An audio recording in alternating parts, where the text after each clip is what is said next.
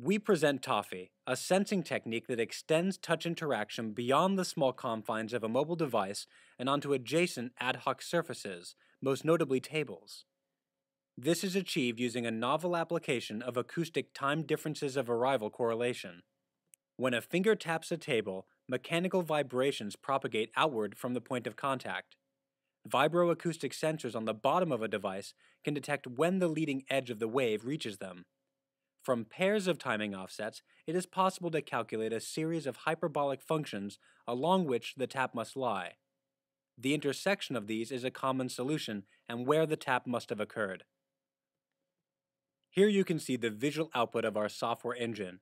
The multicolored portion on the left is an overhead 2D visualization of the total squared error. The four dots in the center represent the four sensors located on the underside of the laptop. The error minima can be seen as a depression. This is the estimated location of the touch. The waveforms captured by the four sensors are shown on the right. One sensor triggers the software and is given a time index of zero. Time deltas are computed for the other three sensors, which are typically on the order of a few hundred microseconds. Toffee augmented devices can localize the bearing to touch inputs with high accuracy. However, at present, distance estimation is much cruder. Please see our paper for full experimental details. We built three prototype Toffee augmented devices a laptop, a tablet, and a smartphone. Here is a close up of our prototype smartphone. A piezo disc is located on each of the four corners. Gravity acoustically couples the device to the table. No other instrumentation is needed. On these test devices, we built several exemplary demos.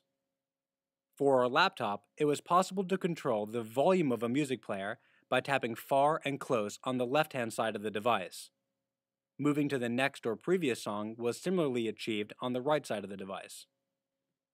We also created a simple desktop switching application. Scrolling to the left or right required tapping to the left or right of the laptop respectively.